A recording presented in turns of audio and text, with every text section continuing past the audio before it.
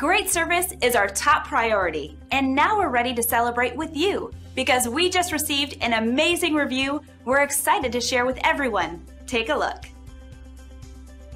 And as much as we know how much effort we put into giving everyone a first class experience, hearing about them firsthand pushes us to do better.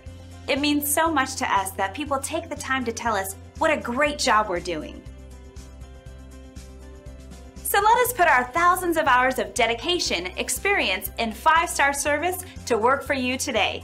Come experience the difference. Our door is always open to answer any questions you might have, so please don't hesitate.